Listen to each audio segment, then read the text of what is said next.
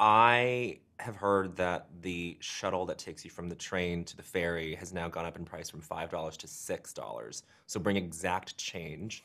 Ooh. Um, Ooh, probably because of this movie, by the way. Do you know what I mean? Probably because of this everything's gonna go up. not because of inflation. But um, what am I saying?